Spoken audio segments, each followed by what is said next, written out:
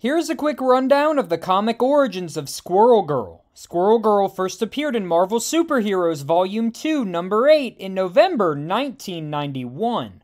Doreen Green was born to Dorian and Maureen Green, but would suffer from an unknown modification to her genes, which granted her squirrel like abilities. Some of these abilities included the growth of a prehensile tail and the ability to communicate with squirrels. Squirrel Girl would team up with Iron Man on her first ever mission to defeat Doctor Doom, and was victorious, defeating Doctor Doom through the use of her squirrel pals. Squirrel Girl would go on to join superhero teams such as the Great Lakes Avengers.